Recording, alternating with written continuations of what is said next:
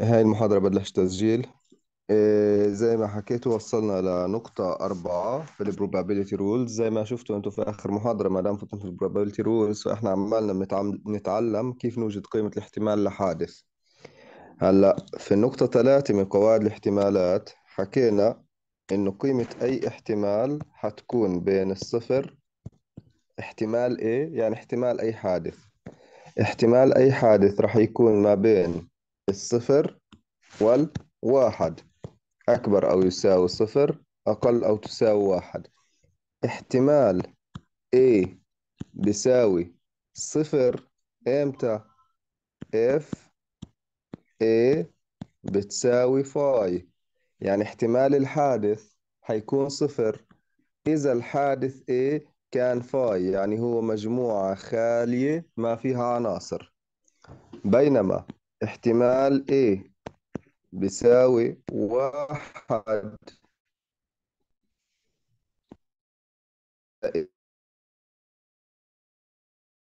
A فيها جميع عناصر أوميجا. A حادث. هالحادث عبارة عن مجموعة جزئية فيها عناصر. أوكي؟ هاي العناصر اللي جوات A. احتمالهم هدول العناصر حيكون بين الصفر وواحد. بيساوي صفر إذا ما لقينا عناصر جوات A. بيكون الاحتمال بيساوي واحد إذا جميع عناصر A هم نفسهم اللي في أوميجا. يعني أنا أخذت كل المجموعة اللي في أوميجا. في النقطة الخامسة بحكي لكم احتمال متممة الحادث A. A complement متممته. شو احتمال متممة الحادث؟ بتساوي واحد ناقص احتمال الحادث. من وين جاب لي إياها هاي القاعدة؟ A complement اتفقنا بتساوي. كل اللي في أوميجا ما عدا اللي في A. صح؟ مش حادث. العناصر اللي في أوميجا ما عدا الموجودين في A ما حاخدهم. طيب احتمال A كومبلمنت حيساوي احتمال أوميجا ناقص احتمال A. احتمال أوميجا من شوي اتفقنا إنه حيساوي واحد ناقص احتمال A. عشان هيك احتمال متممة أي حادث مش بس A أي حادث في الدنيا احتمال متممته بيساوي واحد ناقص احتماله. فمثلا لو حكيت لكم احتمال A B الكل complement شو حتساوي هذه؟ شو الحادث اللي عندي ماخذ متممته أنا؟ التقاطع فاحتمال متممة التقاطع بيساوي واحد ناقص احتمال التقاطع كمان لو حكيت لكم احتمال A complement union. B كله complement أنا شو بدي أحسب؟ احتمال لمتممة A complement اتحاد B. حطيت لكم حيلا احتمال. مطلوب منا نحسب احتماله هذا المتمم لأني شفت المتممة هاي. واحد ناقص احتمال. الحادث الأصلي اللي هو A complement union B. فأنت بتفهم إنه احتمال متممة أي حادث واحد ناقص احتمال الحادث.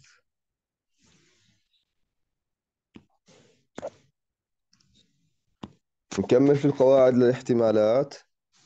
بيحكي لك احتمال A اتحاد B. شو بيساوي؟ مثل ما هو كاتب بيحكي لنا احتمال اتحاد حادثين بيساوي احتمال الحادث الأول زائد احتمال الحادث الثاني ناقص احتمال التقاطع بين الحادثين. من وين جابها هذه القاعدة؟ خليني أفرجيكم من وين جابها. نثبتها. لو بس سألتكم عن A اتحاد B. هو بده إيانا نحسب الاحتمال. بحكي لكم الاحتمال لهذا الحادث. خلينا نشوف أول إشي A اتحاد B كيف شكلها؟ لو نرسمها هي أوميجا. أوميجا جميع النتائج المو... للتجربة جميع النتائج الممكنة للتجربة. رسمتهم على شكل مستطيل. حكيت لكم إيه هي إيه هذه الدائرة اللي جوا أوميجا هي عبارة عن الحادث إيه بي هي كمان بي تاني دائرة. لو سألنا عن A يونيون B كان معناها بالكلمات A or B or both بدون تكرار. A هيني ضللتها. أو B هي كمان ضللتها. Both معناها النص طب كم مرة أنا أخذته؟ مرة أخذته مع إيه؟ هي أول مرة. وتاني مرة أخذته مع بي. بس أنا حكيت لكم بدون تكرار يعني إذا أخذته مرة ما بأخذه تاني مرة. فاحتمال الاتحاد بيساوي احتمال الجزء الأول اللي هو A زائد احتمال الجزء الثاني اللي هو B. لما أخذت A أخذت التقاطع مرة. لما أخذت B أخذته تاني مرة. وأنا غلط أكرر فإذا لازم أخذه مرة واحدة فبالتالي بطرحه من المرتين اللي أخذتهم. كمان مرة. الاتحاد أنا لما أحكي لكم عن A يونيون B بدي كل هذا الجزء. الدائرتين مضللين مع بعض بس بدون ما أكرر أي إشي. فعشان أحسب اتحاد احتمال اتحاد يعني احتمال هذا المضلل لكم خذ لي احتمالها وبعدها خذ لي بي احتمالها. بس استنى شوي أنت صرت ماخذ المنطقة المشتركة مرتين فاطرحها مرة. فقانون الاتحاد اجى بهذه الطريقة. أوكي؟ بس افتح أرجع على. أنتوا الدوسية معكم فالمفروض شايفين قواعد الاحتمالات.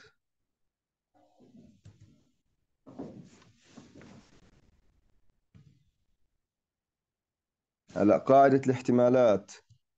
اللي بعدها بحكي لك. If A and B are مالهم. Disjoint.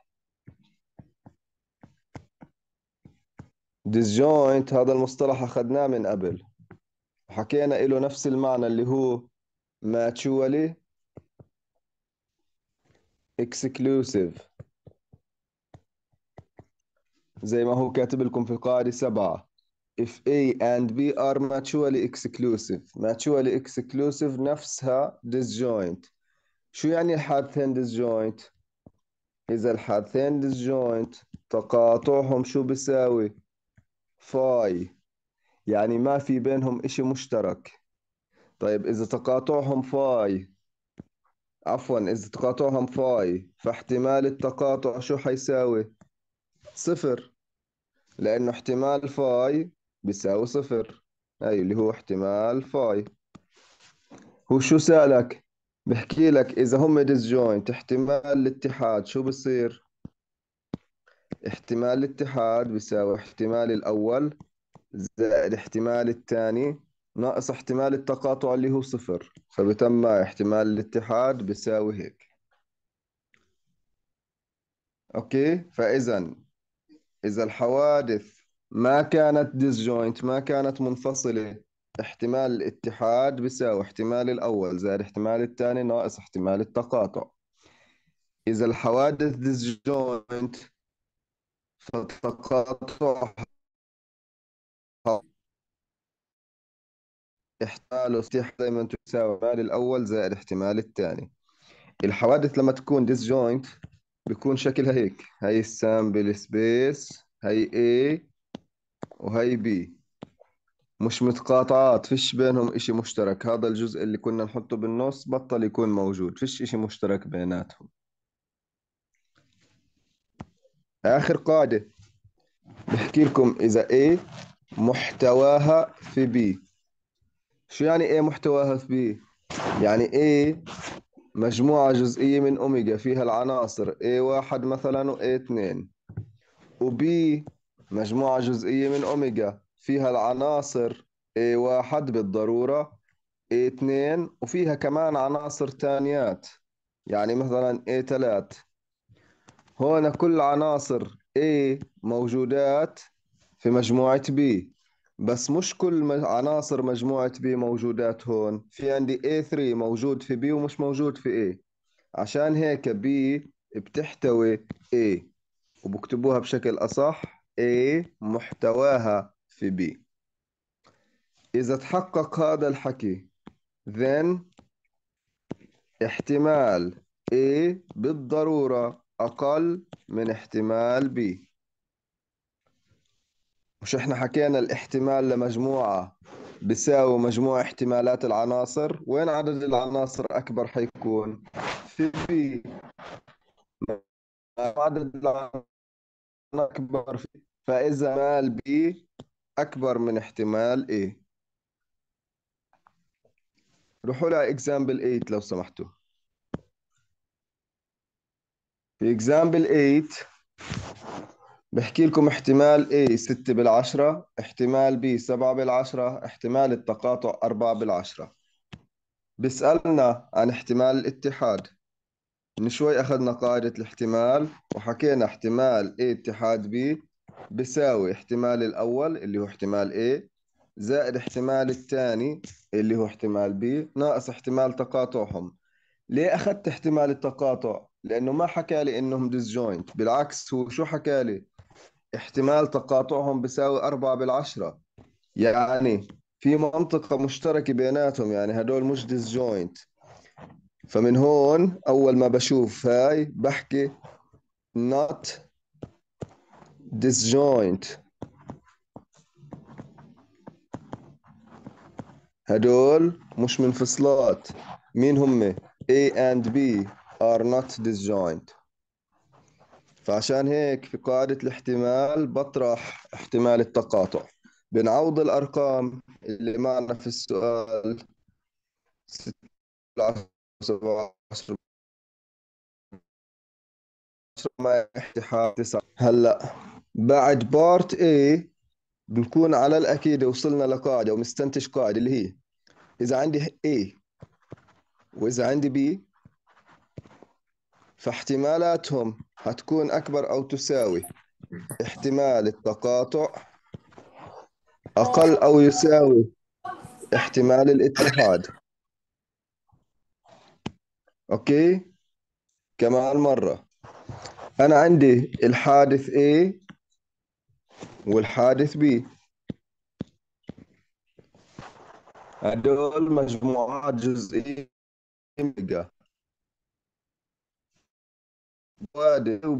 مين التقاطع.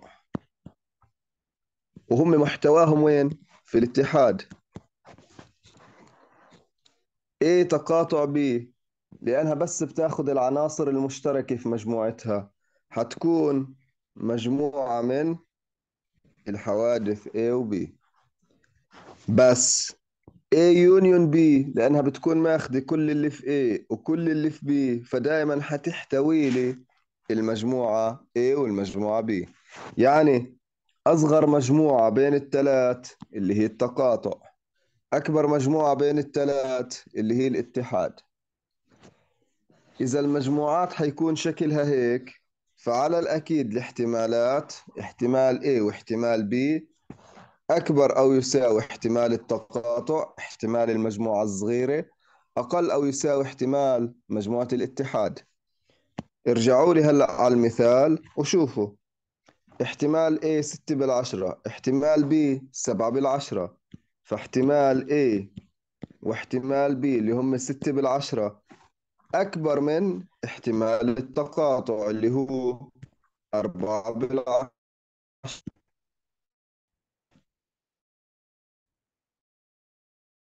وجدنا الاتحاد. احتماله كم كان؟ 9 بالعشرة. أكبر أكبر من 7 بالعشرة وأكبر من 6 بالعشرة. فعشان هيك كتبت لكم أقل من احتمال A يونيون B.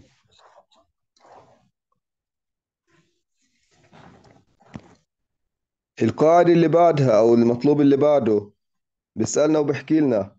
احسبوا لي احتمال A تقاطع B كومبلمنت هلا أنا هاي نسيت أشرح لكم إياها.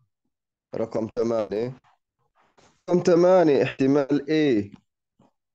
تقاطع B complement بحكي لكم بتساوي.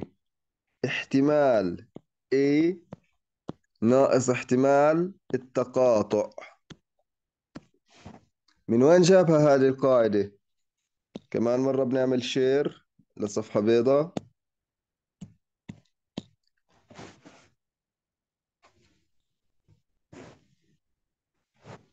خذوا لي ال sample space كمان مرة.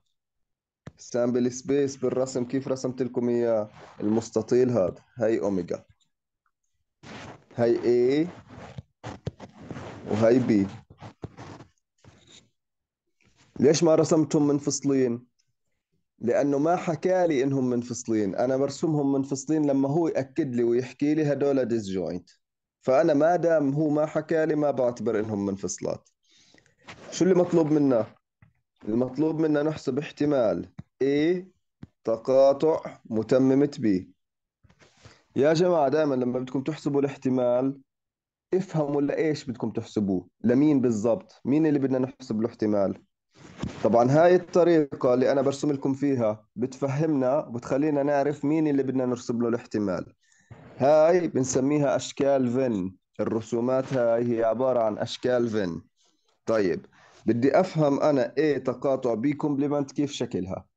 طبعا معناها كل اللي برا B ومشترك مع مين؟ مع A شو معناها هاي؟ A تقاطع B كومبلمنت اللي مش موجود في B ومشترك مع مين؟ مع A اللي مش موجود في B يعني اللي براته. يعني بدكم تضللوا كل اللي برا B هيني ضللته. A هيها A الدائرة الثانية هاي التقاطع ما بين اللي برا بي والدائرة شو في إشي مشترك بين الجزء اللي مضلله أنا بخطوط والدائرة إيه شو المتشارك بين التنتين؟ المتشارك هذا الجزء. صح؟ انتبهوا أنا ما أخذت المنطقة هاي. هاي المنطقة كانت مشتركة ما بين A و B. بس أنا هلأ بحكي لك مشترك ما بين A وكل اللي برا B. أنا لازم آخذ اللي برا B. هاي هذا الجزء الأبيض اللي تاركه بالنص مش برا B هذا جواته. فإذا أنا بدي هذا الجزء. شو احتماله هذا الجزء؟ هذا عبارة عن احتمال كل شيء في A ناقص لما آخذ كل شيء في A حاخذ الجزء الأبيض بس أنا ما بدي إياه هذا الجزء الأبيض المشترك. فبطرحه اللي هو A تقاطع B.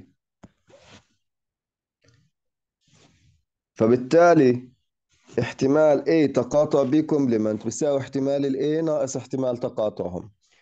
هلا انت بامكانك تشتق هذا فهمتك دائما عشان ما يخربطوا فيه. كيف بخليهم يحفظوه؟ احتمال A متم... تقاطع متممة B بيساوي احتمال اللي ما عليه متممة. مين ما عليه متممة؟ A. ناقص احتمالهم بدون متممات. طيب لو حكيت لك احتمال A كومبلمنت تقاطع B عكست المتممة. شو بتساوي؟ تحكي لي احتمال اللي ما عليه متممة اللي ما عليه هيها B ناقص احتمال تقاطعهم بدون متممات. فإما بتحفظوا بهذه الطريقة أو بتفهم من وين جبته بهذه الطريقة. هلأ خذوا لي بعين الاعتبار خلينا نفرض إنه بدنا نشتغل على أول قاعدة اللي هي هذه.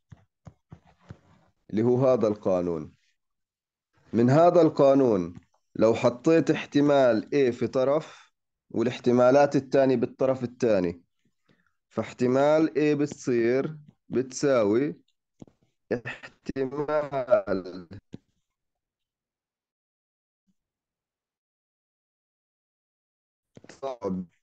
تقاطع بي complement فإذا عندنا هي طريقة جديدة لحساب احتمال A يعني بعطيكم مثال عليها لقدام شوي هاي كيف رح نستخدمها القاعدة. يعني هون مثلا بإمكاني أمسح هذا الجزء إذا في حدا بده إشي بستنى شوي.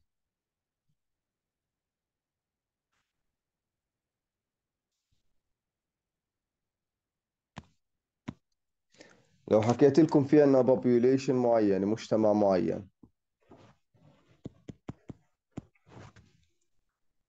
وهذا البوبيوليشن كان population of men مجتمع الذكور. مجتمع الذكور لقيت أنا فيه. مثلا أو خلينا هذا المثال أجله بديش أخربطكم هلأ. خلص ما بدي أخربطكم هلأ في هذا المثال. خلينا نرجع للقواعد اللي كنا نشتغل فيهم. وهذا المثال بحط لكم إياه لقدام شوي عشان ما تخربطوا تدخل عليكم المادة في بعضها تصير صعب تفهموها. نرجع اللي كنا نشتغل فيه الإجزاء ففي هذا الإجزاء كنا إحنا في بي. طلب منا نحسب احتمال التقاطع. حكيت لكم احتمال التقاطع باستخدام القاعدة الثامنة اللي شرحتها هلا. احتمال التقاطع كمان مرة للتذكير. احتمال A تقاطع B كومبلمنت بيساوي احتمال اللي ما عليه متمم اللي هي A. ناقص احتمال تقاطعهم بدون متممات. فأخذنا احتمال A من السؤال ستة بالعشرة. احتمال التقاطع من الفرع اللي قبله أربعة بالعشرة. فالاحتمال حيساوي اثنين بالعشرة. في حدا كان بده يسأل بعت على الشات؟ اللي بده يسأل يتفضل. دكتور. تفضل. يعني أنا طارق بدي أسألك شغلة خارجية. بقدر إذا ما إذا مش في المادة خليها خليها لآخر المحاضرة. إذا مش في ال- إذا مش في الإكزامبل أو مش في قواعد الاحتمالات عشان انضغطت كثير بالإجابة. إيه؟ انضغطت. كثير يعني خفت. ما زبطش لا ما خلص ما تخاف اصبر كمان. طب يلا احكي. إذا خايف دكتور. مش وديت ال... وديت ال PDF هسه تبعت المهمة ال homework. آه. إيه طلعت مودي PDF ثاني. شو أسوي يعني؟ أنا بحكي أنا وياك في نهاية المحاضرة بنتفق على حل. إن شاء okay الله. ماشي. okay. إيه الفرع اللي بعده A complement intersect B. شرحت لكم القاعدة كمان هلا. حكينا لما يعكس لي المتممة شو بعمل؟ بضلني حاط في الاعتبار اللي حفظناه احتمال الحادث اللي ما عليه متممات ناقص احتمال الحادثين بدون متممات. فبيطلع سبعة بالعشرة ناقص أربعة بالعشرة اللي هي ثلاثة بالعشرة. هلا روحوا لي على بار دي لو سمحتوا. بحكي لكم احتمال متممة A تقاطع متممة B. A متممة تقاطع متممة B وين شفناها هذه مش إحنا أخذنا إشي سميناه قوانين دي مورغان؟ دي مورغان حكى لنا A يونيون B الكل متممة بتساوي. متممة الأول متممة الاتحاد تقاطع متممة B. فإذا احتمال A complement تقاطع B complement حتساوي احتمال A union B المتممة إلهم كلهم. وفي بداية المحاضرة حكيت لكم احتمال متممة أي حادث بتساوي واحد ناقص احتمال الحادثة. فإذا احتمال A complement تقاطع B complement اللي في دي حتساوي واحد ناقص احتمال الاتحاد. الاتحاد أوجدناه في الفرع A. تسعة بالعشرة. فإذا الجواب ناقص تسعة هذا باستخدام قاعدة أو قانون دي مورغان. دي مورغانز لوز.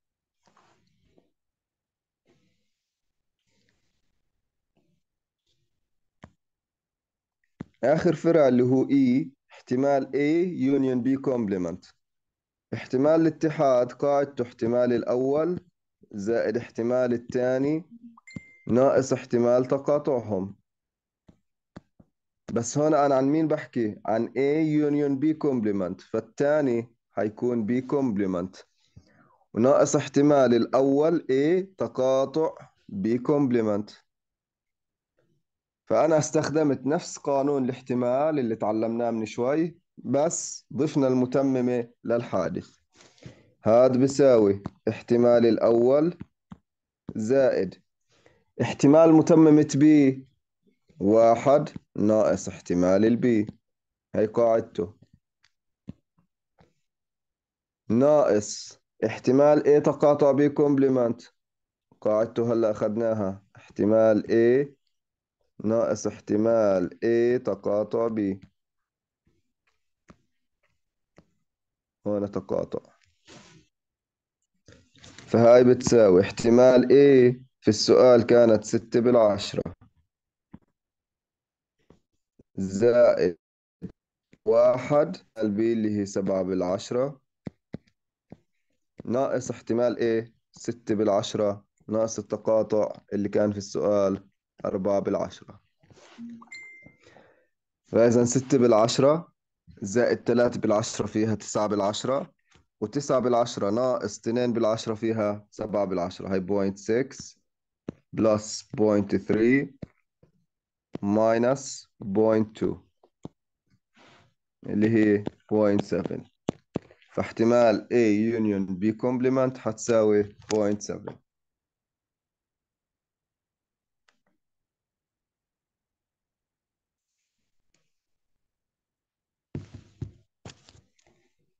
في أسئلة لحد هون؟ واضح الحل.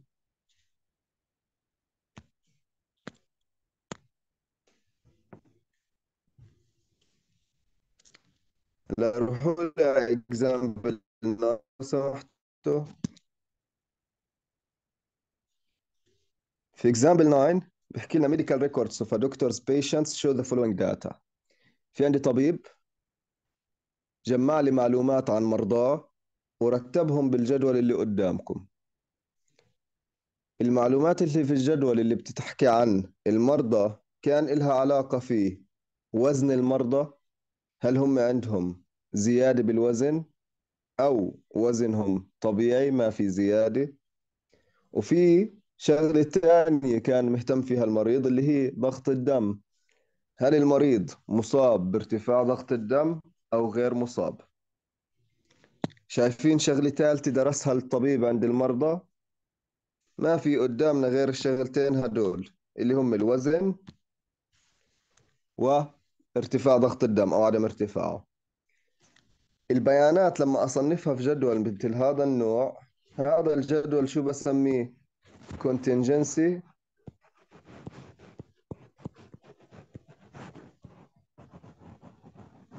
table. Contingency table. اكتبوها عندكم. Contingency table مثل الجدول اللي قدامكم. بصنف البيانات حسب متغيرين أو بنسميهم two factors عاملين. في مثالنا ال variable الأول weight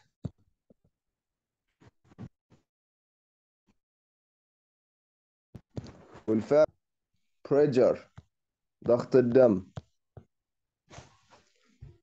هل ال contingency table دائما بتصنف البيانات حسب عاملين فقط؟ لا ممكن عاملين وممكن ثلاث. إحنا هلأ حنشرح الجدول اللي بيحتوي two variables or two factors. في ال problems لما نوصلهم حتشوفوا إنه في عندنا جدول بيحتوي ثلاثة factors بس الفكرة في الجدول بتضلها نفسها. طب شو مكوناته هذا الجدول؟ أول شغلة بتكون منها زي ما حكينا ال factors هي الأول وهي الثاني عشان هيك بسميه two factors contingency table كمان كل factor زي ما أنتم شايفين قدامكم مقسوم إلى جزئين هدول الأجزاء شو بسميهم؟ levels فإذا هدول التنين كمان بسميهم levels. في ال contingency table كل factor بيكون مقسوم إلى أكثر من level إحنا عندنا كل factor مقسوم إلى تنين levels خلصنا فهمنا فهمنا هلأ شو يعني factor شو يعني.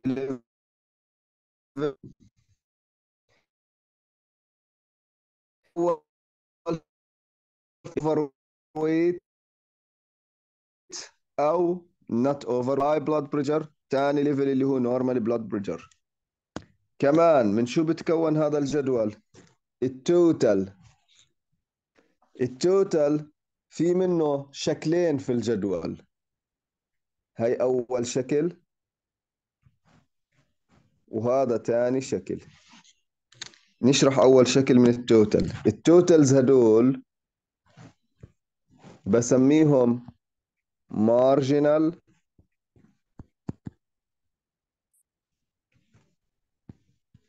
Totals. يعني مجموع فردي أو مجموع أحادي. طب هدول التوتال شو بيمثلوا؟ لما أحكي لك 184 معناها في عندي 184 مريض عندهم ارتفاع ضغط الدم. هي مجموع الأشخاص اللي عندها ارتفاع ضغط الدم. لما أحكي 140 فأنا في عندي 140 مريض ضغط دمهم طبيعي. لما حكينا 173 يعني في عندنا 173 مريض مصابين بالسمنة و151 مريض مصابين أو غير مصابين عفوا بالسمنة. أنا لما فسرت الرقم فسرته باستخدام level واحد من بين ال levels عشان هيك بسميه marginal لأنه أنا بكتب الواحد من ال level تاعون ال factor. بالمقابل الرقم 324 شو بيمثل؟ مجموع ال marginal totals يعني 184 زائد 140 بتساوي 340 300 عفوا 324 324 مجموع كامل المرضى في التجربة. يعني الدكتور هاد كاين عنده 324 مريض. فبفسر الرقم على إنه في عندنا في العينة 324 مريض موزعين حسب الأمراض. فاذا طيب كيف شو بسميه لل 324 بسميه جراند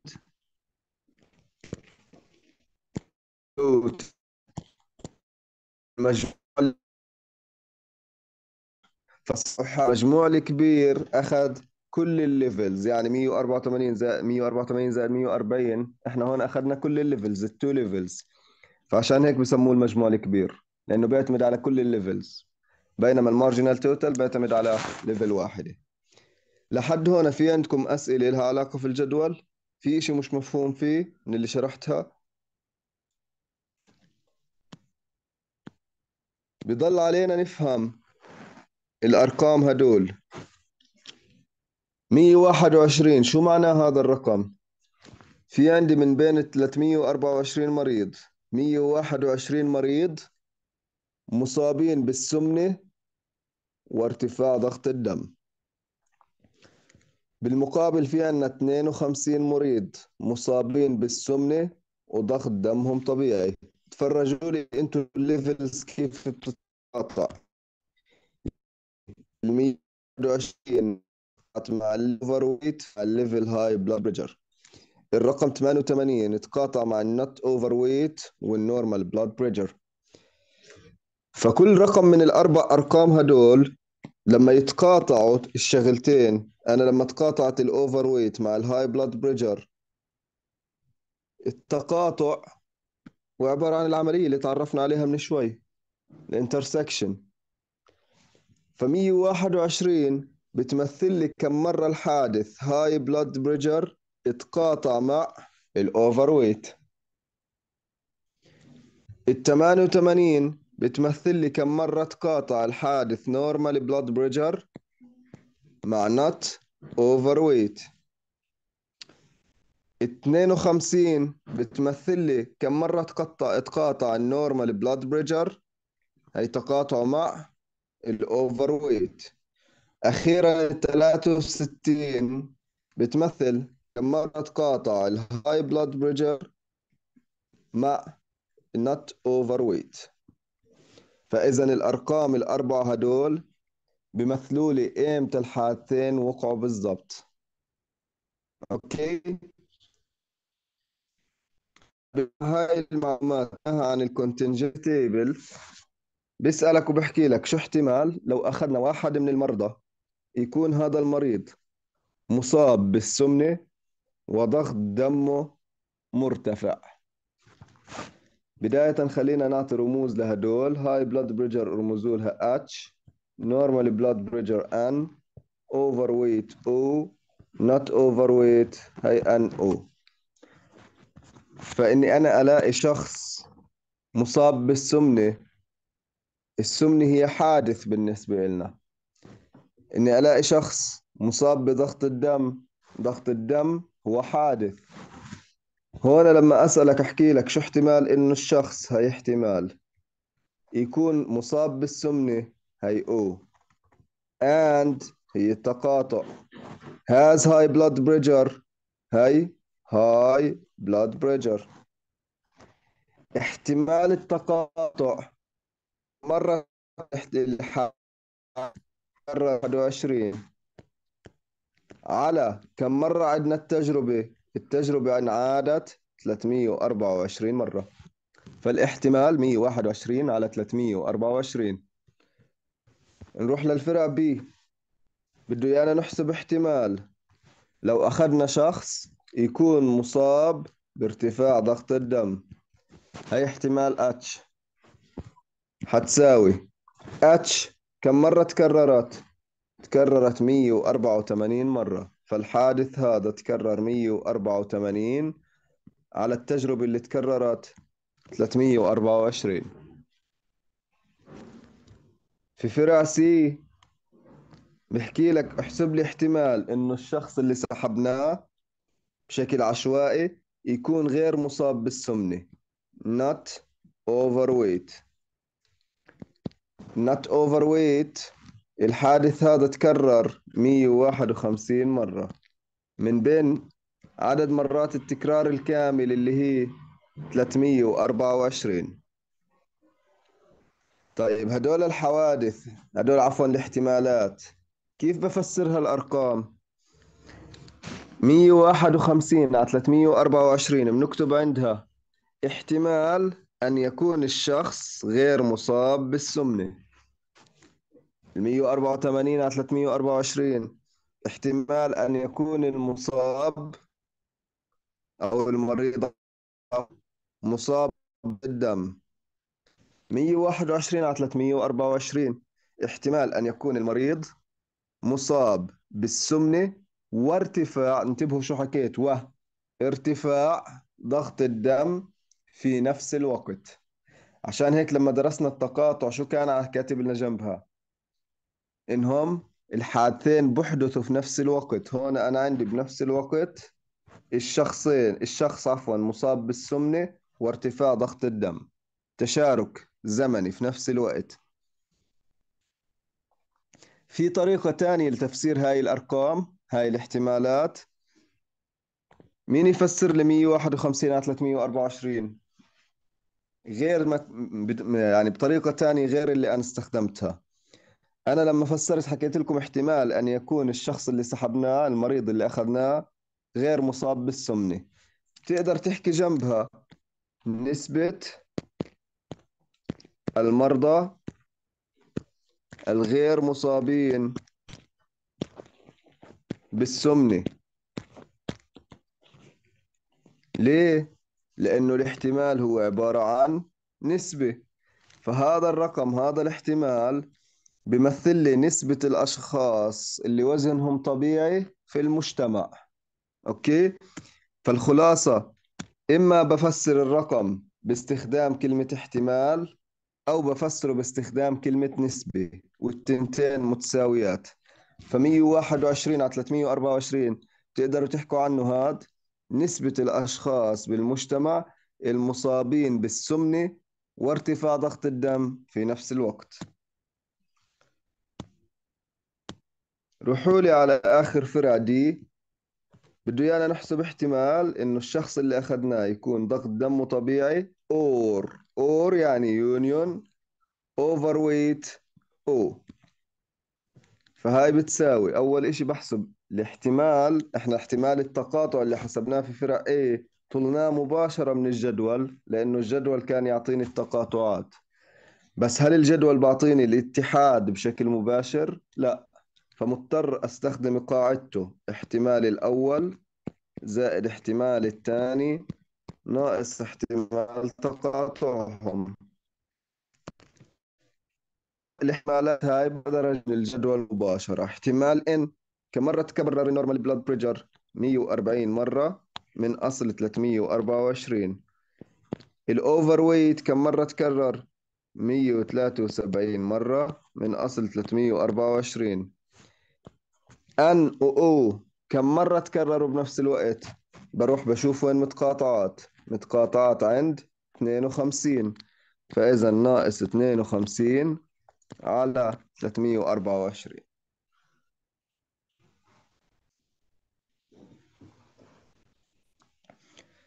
أوكي؟ فإذا في السؤال هذا كان معطينا حوادث وبدنا نحسب احتمالها من الجدول اللي سمينا contingency table إذا ما في أي سؤال على الحل روحوا لإكزامبل 10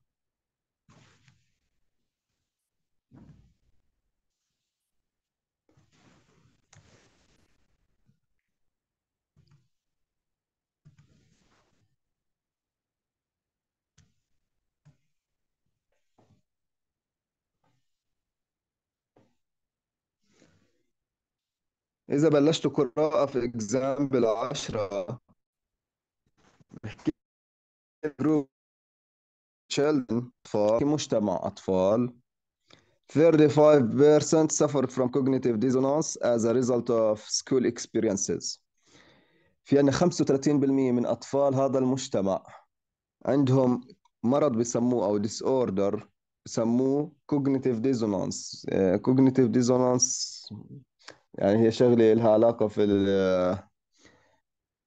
في الدراسة وفي القدرات الدراسية بسموها زي التنافر آه، معرفي أو إشي زي هيك. فهو مرض له علاقة يعني في عند الطلاب اللي بدرسوا في المدرسة يعني كأنه ما بيركز أو بخربط إشي زي هيك يعني. فالخلاصة إحنا بالنسبة لنا 35% من الطلاب بيعانوا من المرض الأول. المرض الأول هذا هو بالنسبة لنا حادث. ف cognitive dissonance لو رمزت له ب C 35% هو احتمال وقوع الحادث C فإذا 35% هو probability of C. okay and 40% have a distorted sense of reality. 40% من الأطفال عندهم disorder تاني أو مرض تاني اللي هو distorted sense of reality. هدول بتحسهم يعني هم مش زي التوحد ولكن هذا الشخص اللي مصاب بهذا المرض أنت فؤاد وهو فؤاد. يعني هو بيكون مش عايش في الواقع اللي أنت فيه. يعني ما بيكون كأنه يعني كل التركيز أو ضعف تركيز إشياء من الأمراض هذه. فهو حادث بالنسبة لي كمان. فإذا ال distorted sense هو حادث آخر. كم حادث صار معرف لي في السؤال. حاليا 40% هي نسبة المصابين بالحادث هذا. من شوي في المثال السابق حكيت لكم. كلمة احتمال نفسها نسبة. فهون هو حاطيني 40% نسبة. فإذا هي احتمال الحادث دي. فالخلاصة لحد هون أعطانا حادثين. سي ودي وحكى احتمال كل حادث بعدها بحكي لك في عندي أخذت من المجتمع هذا مجموعة تحتوي 200 طفل. المجموعة هاي النسب اللي عرفناها من شوي يعني الاحتمالات اللي عرفناها من شوي ثابتة فيها يعني بتقدر تطبق عليها نفس الاحتمالات. من بين ال 200 طفل في 32 واحد مالهم عندهم both of cognitive dissonance and distorted sense of reality. 32 اتكرر عندهم الحالتين سي ودي لأنه حكى لي بوث فإذا تقاطع و سي and دي في نفس الوقت فإذا 32 عدد مرات تكرار التقاطع. طيب من التقاطع مش أنا بقدر أحسب الاحتمال؟ فإذا احتمال التقاطع حيساوي كم مرة تكرر الحادث؟ 32 على كم مرة التجربة عدناها؟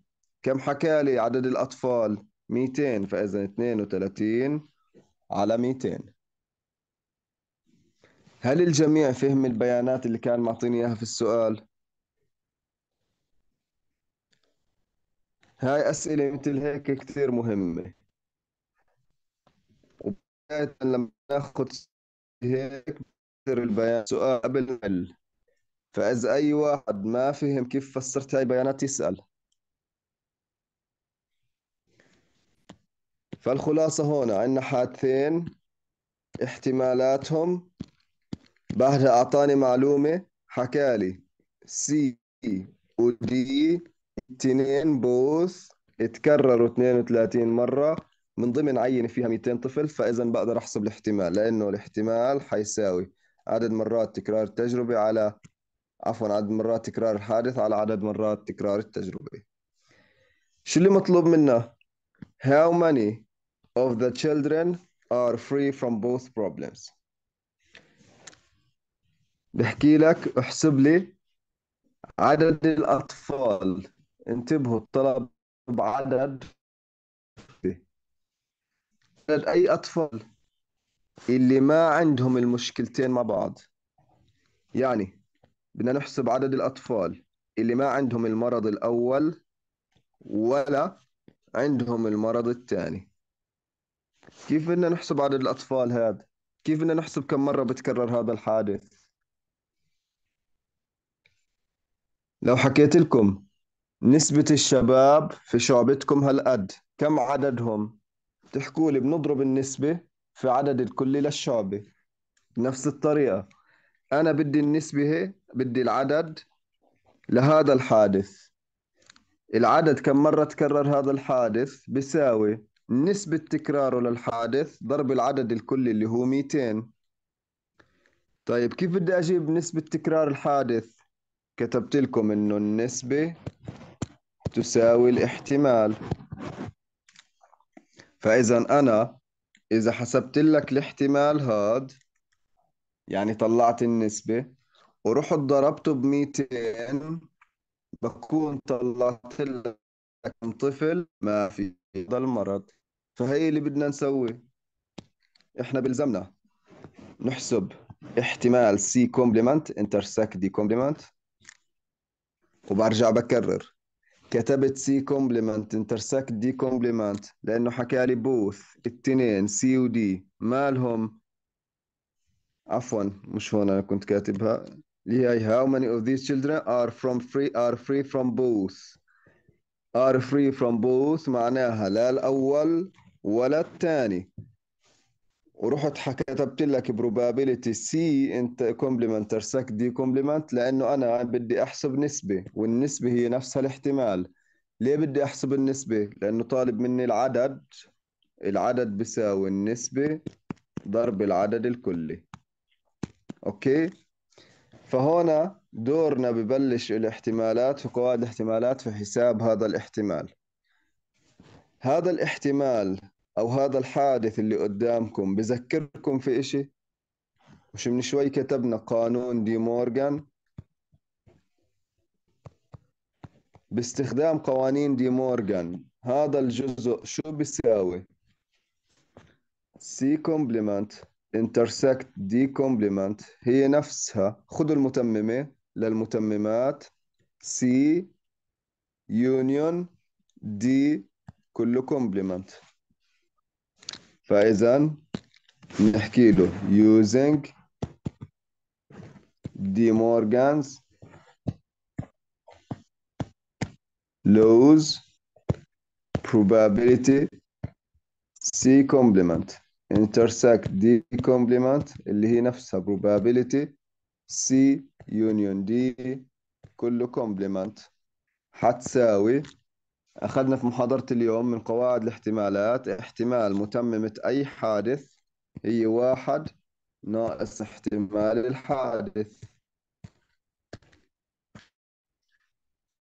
وهذا بس احتمال الاتحاد بيساوي احتمال الأول زائد احتمال الثاني ناقص احتمال تقاطعهم.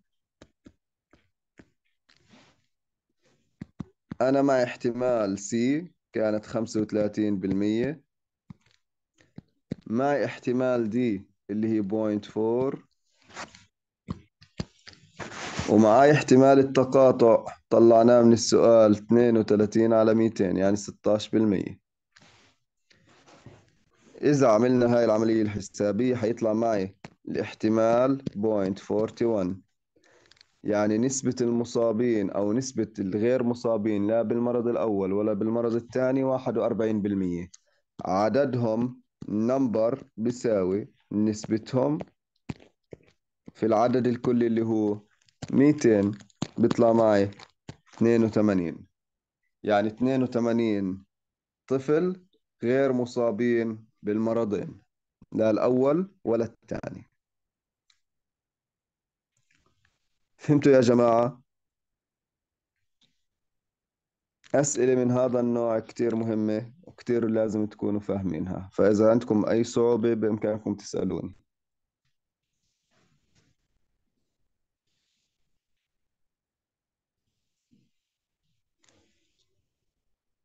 أوكي نكمل بعدها نروح الموضوع اللي بعده اللي هو بعنوان Independent Events.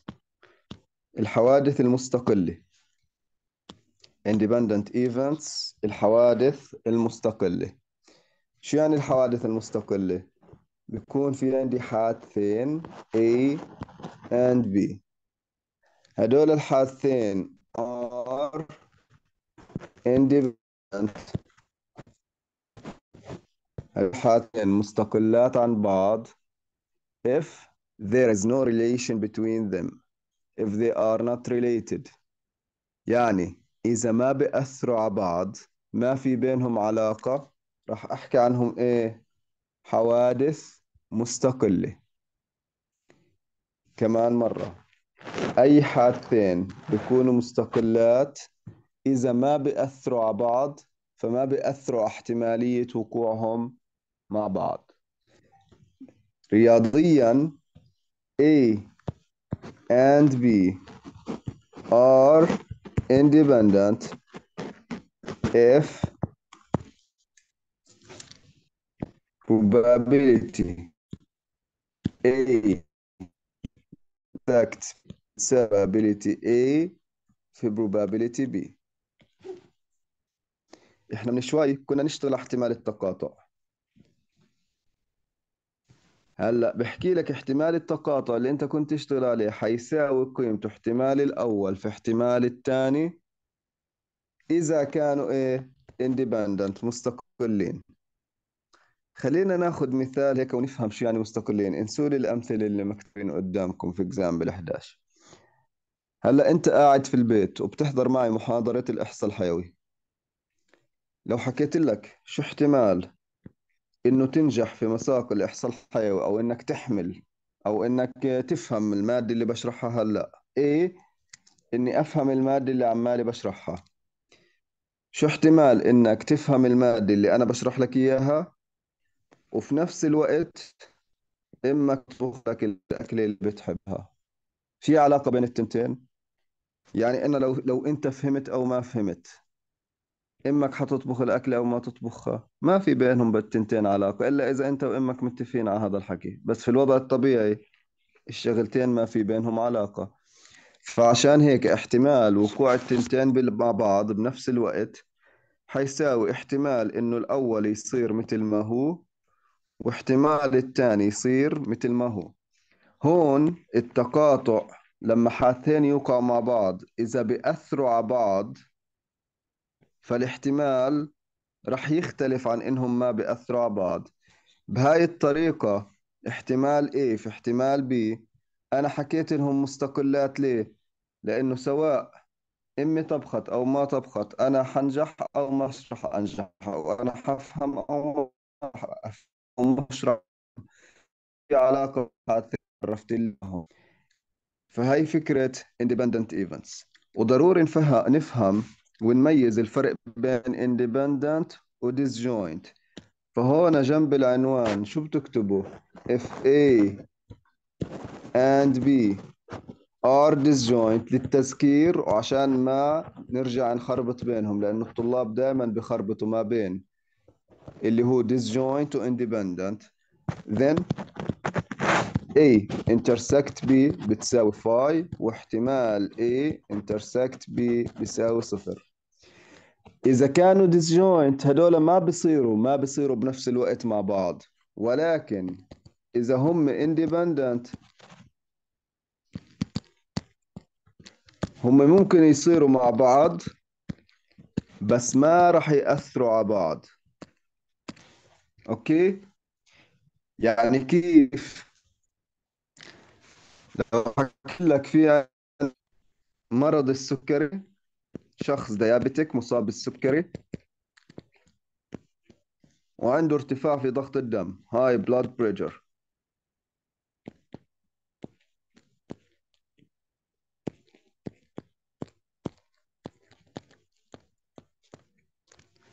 إحنا عارفين من زمان إنه الأشخاص المصابين بالسكري في احتمال كبير إنهم يكونوا شو؟ مصابين بارتفاع ضغط الدم صح؟ فهون الحادثين مستقلات عن بعض لا بوقعوا مع بعضهم البعض. فاحتمال إنه إذا الأول كان ديابتك يصاب بنفس الوقت بال high blood pressure حيكون في تأثير بيناتهم. ولكن لو حكيت لك شخص diabetic وشخص مصاب بالرشح شو احتمال إنه أنا اصاب بالرشح كنت في نفسك.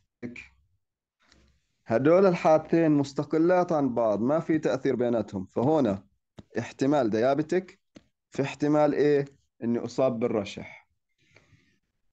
حناخد أمثلة كمان نستوعب من خلالها شو يعني independent events. أنتوا لحد هاي المرحلة بهمني تكونوا عارفين القاعدة اللي قدامكم. احتمال A تقاطع B بتساوي احتمال الأول في احتمال الثاني. قبل ما تخلص المحاضرة خلينا نحل اكزامبل نفهم في مسات بحيث إنه احتمال الأول أربعة بالعشرة احتمال الثاني سبعة بالعشرة. يوجد لي احتمال التقاطع. احتمال التقاطع أخذنا قاعدته هلا ضرب الاحتمالات ضربنا احتمال A في احتمال B. بعدها بحكي لك احسب لي احتمال A complement أو سوري A intersect B complement. أخذنا قاعدتها من سابقا اللي هي احتمال اللي ما عليه متممة ناقص احتمال الاثنين بدون متممات. احتمال A ما في أي تغيير. احتمال التقاطع بما إنهم حيصير الأول احتمال الثاني. فإذا الاحتمال حيساوي. احتمال A كم كان في السؤال؟ أربعة بالعشرة. ناقص احتمال A اللي هو أربعة بالعشرة في احتمال B سبعة بالعشرة. يعني أنتوا بتحكوا عن أربعة بالعشرة ناقص اللي هي كم كانت؟ آه، أربعة بالعشرة في سبعة بالعشرة في عنا point 28 okay؟ فهون الاحتمال حيطلع معنا بهذه الطريقة اللي حليناها. طيب في طريقة تانية للحل؟ آه في طريقة تانية. شو القاعدة بتحكي؟ If A and B are independent. عندكم؟ مكتوب. بس أعطيكم ملاحظة صغيرة عليها if A and B are independent then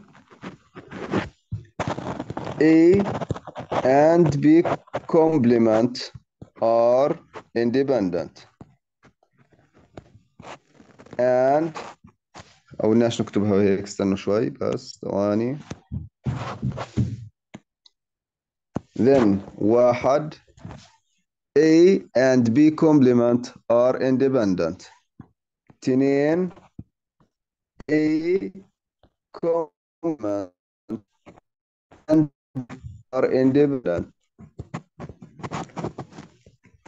ثلاث A complement and B complement are independent وهيك بتنتهي الملاحظة شو الملاحظة مكتوب فيها بحكي لكم إذا في عندي حادثين مستقلات اللي هم A و B كانوا مستقلات فأنا بقدر أستنتج مباشرة إنه الحادثين ومتمماتهم حيكونوا مستقلات مع بعضهم البعض. إذا كان في عندي حادثين مستقلات فمتممات الحوادث الكومبلمنت للحوادث حيكونوا كمان مستقل صار لنا الاحتمال A تقاطع B complement على شرط إنه A و B كانوا independent حكيت له طيب ما في مشكلة.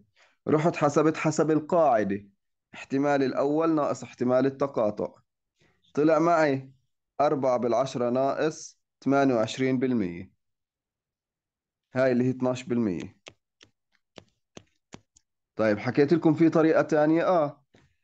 بما إنه A و B independent فاذا A ومتممة B independent.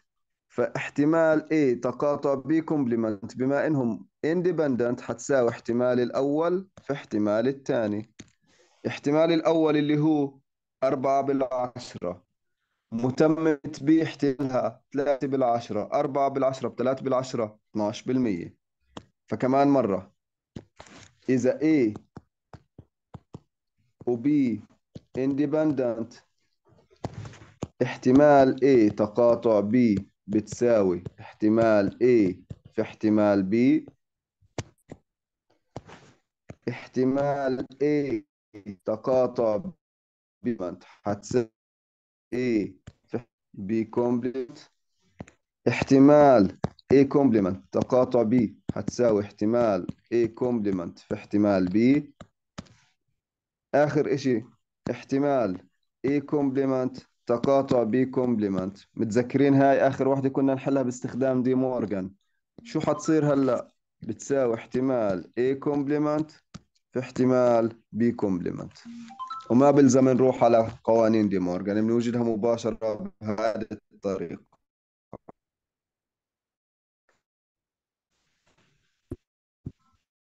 بما إن A احسب لي احتمال A تقاطع B كومبلمنت حكيت له احتمال الأول في احتمال الثاني؟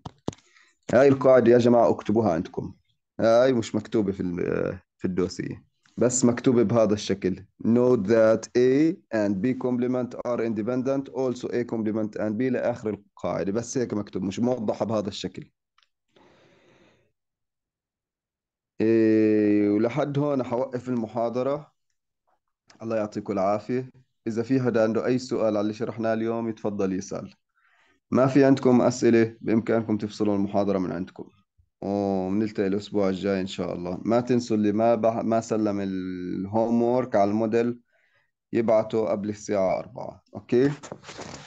مشكورين كثير والله يعطيكم العافية. وبنلتقي إن شاء الله يوم الاثنين.